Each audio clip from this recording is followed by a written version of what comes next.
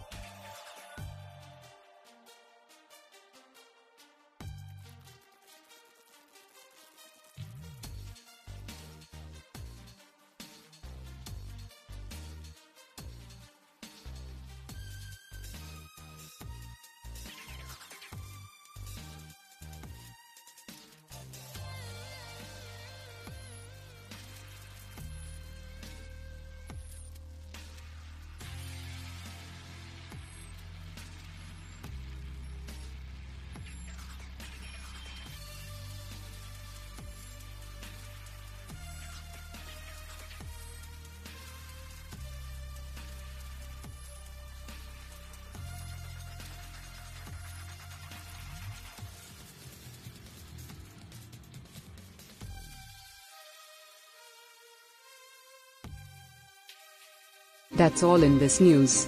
For more news and updates, please subscribe to Oneindia YouTube channel.